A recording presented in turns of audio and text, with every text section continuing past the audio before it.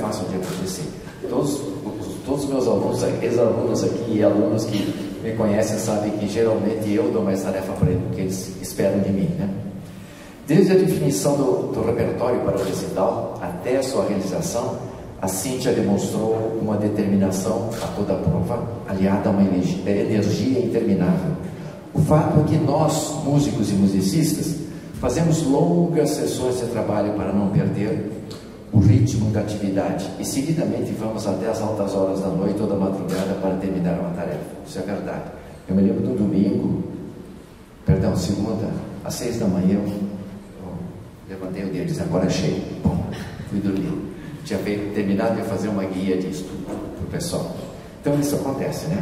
Isso sem considerar tudo o mais que nos demanda atenção e esforço na vida, que pode ser muito estressante.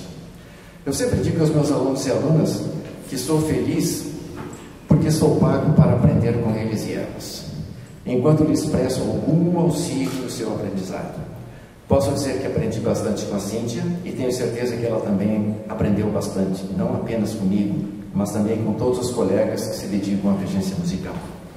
Afinal de contas, o nosso curso de regência, é, regência coral que nós temos, né, tem uma grande riqueza. Alunos e alunas interessados e interessadas na música coral e o seu poder transformador no ser humano e na sociedade.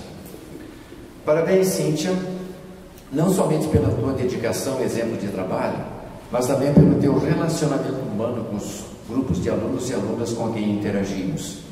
O teu trabalho como monitora de, eh, de técnica vocal, tanto no laboratório de execução coral, como na regência coral coletiva, foi grandemente apreciado por todos nós. Sabemos que a Cíntia é uma excelente cantora e que está em constante atividade na área do canto. E agora ela vai atuar também na regência coral com o mesmo empenho e desenvoltura. Disso eu tenho certeza. Espero ter eh, contribuído no sentido de ajudá-la a desenvolver uma visão abrangente e integradora com relação à regência musical em seus variados aspectos e a vocação de regentes como líderes, educadores e promotores de uma sociedade humana saudável. Como todos os cursos têm um fim, estamos hoje celebrando com a Cintia o seu recital de graduação em regência coral. Mas ao mesmo tempo celebramos também um novo começo pois todos sabemos que os cursos terminam, mas o aprendizado é um estado de ser permanente. Bom recital a todos e todas.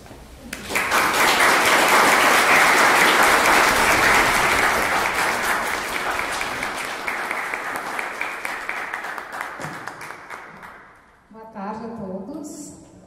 Sejam todos muito bem-vindos a este recital de formatura é, vou começar então com um pequeno discurso que sobre o, nosso país. O Brasil ele é dono de um vasto e rico folclore, resultante da junção de culturas e tradições de diferentes povos, tais como o indígena, o africano e o europeu.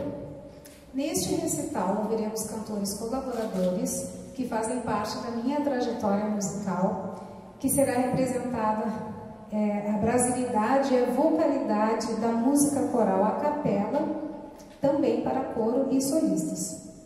O programa pode ser visualizado através do QR Code que está no cartaz de divulgação, onde consta música sacra na primeira parte e música secular na segunda parte.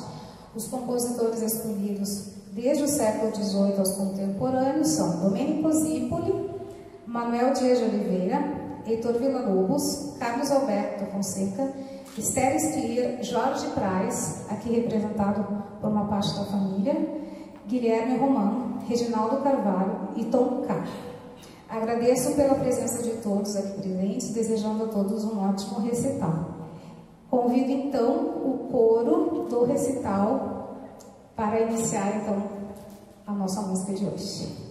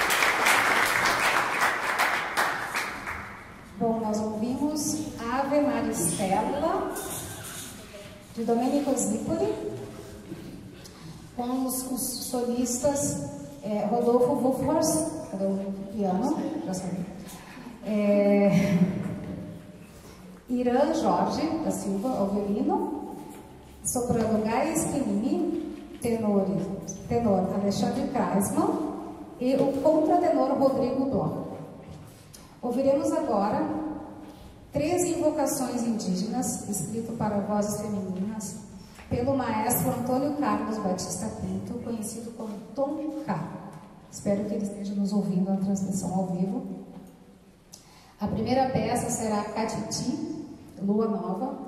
A segunda, Cairê, Lua Cheia. E a terceira, Rudá, que é Espírito do Amor. Elas serão executadas em sequência, sem aplausos, pois terão a ambientação sonora com a instrumentação gentilmente concedida pela nossa contralto e regente Ana Maria Altoff, através dos integrantes do coro do recital. Haverão pequenas intervenções das sopranos Eliana Pires dos Santos, Gaia Esquilini e Regina Machado.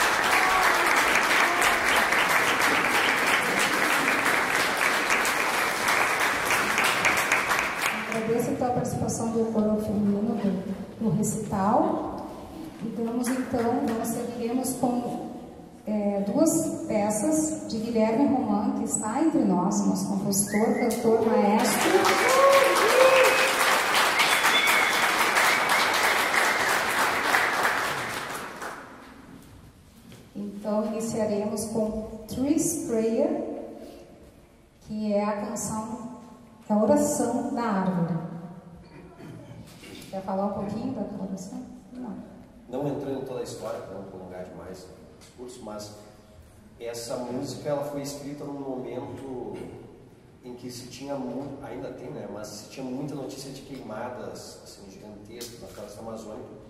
E eu já tinha a temática em mente há um tempo, e aí eu achei um momento propício para escrever essa peça e também fui inspirado para isso. E ela é uma oração de uma árvore, né, em meio às queimadas, vendo tudo pegando fogo e o fogo chegando cada vez mais perto dela para que consumisse e nesse momento ela orando e pedindo para Deus, né, perguntando por que tudo aquilo está acontecendo e até chegar o momento que ela só pede pela salvação. Né? Então me leve com você para junto das, das minhas companheiras, das minhas amigas.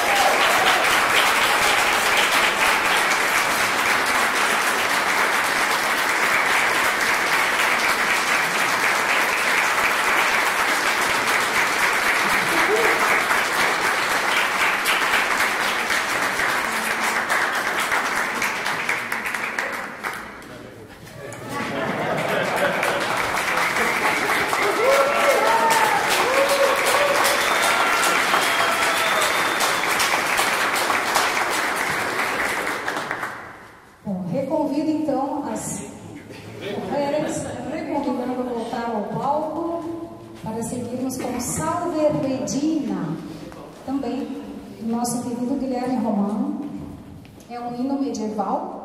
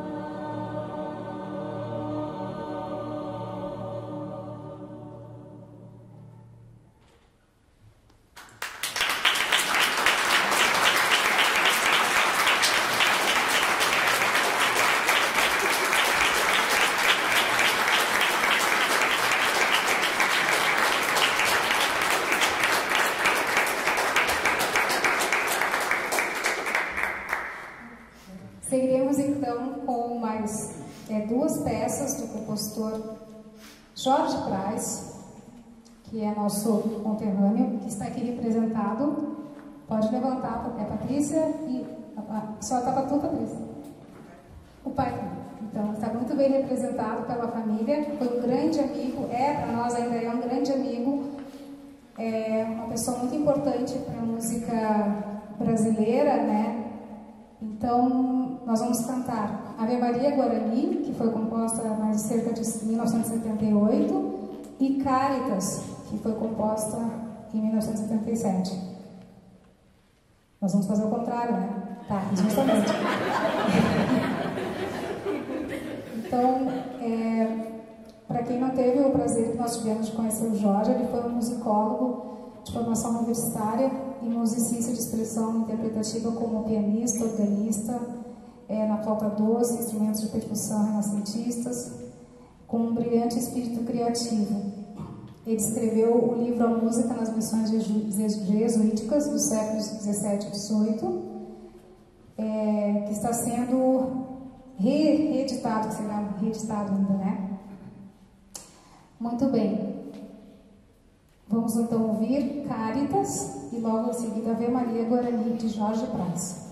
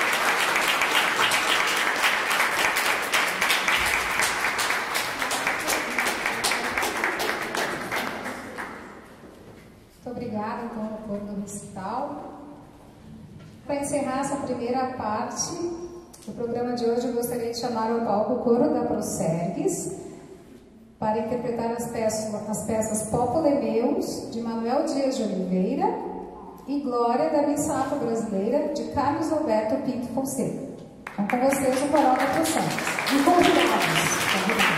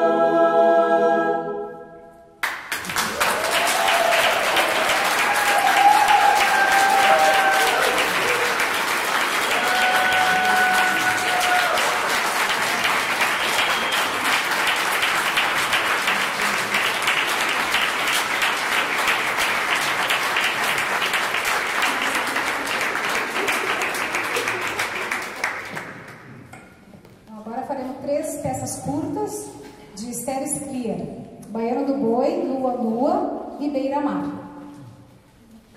É boi bonito, é bomba, é boi bonito, é bomba, meu boi bonito, boi coração, faz uma venta de venta no chão.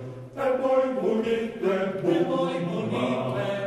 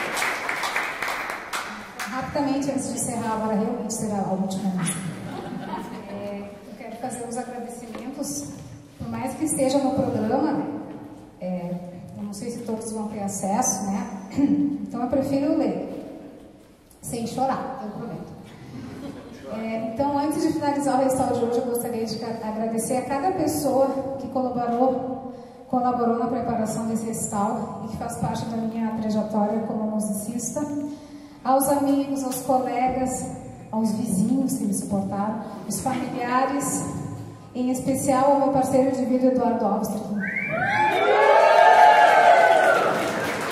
Pelo, pelo apoio e paciência incondicional para que eu realizasse o reingresso da, de, de, como diplomada no curso de bacharelado em regência coral. A Escola de Música Tio Zequinha, pela cedência do espaço para apresentação e aos ensaios gerais, a Capela Concórdia, pela cedência de alguns ensaios, ao professor Carlos Fescher pela coorientação das aulas de regência coletiva e um agradecimento mais do que especial ao meu orientador, professor Dr. Jocelyn Bora.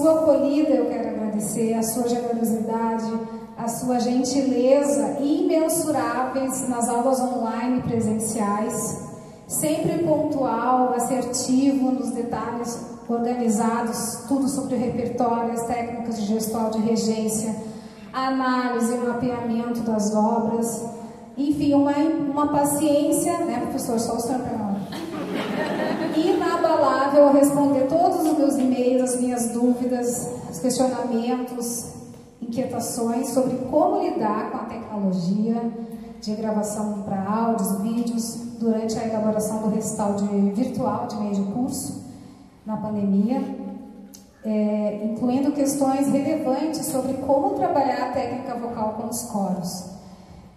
Enfim, professor Jocelyn, não vou falar mais porque senão vou começar a chorar. Então, o professor Jocelyn, só ele para realmente, só por causa dele também eu estou aqui hoje me formando, pela, por tudo que ele me, me, apoiou. E eu tenho certeza que ele apoia os alunos dele, ele é, é um apoio incondicional, assim, é uma entrega incondicional que ele tem aos alunos. Então, muito obrigada, professor, por tudo.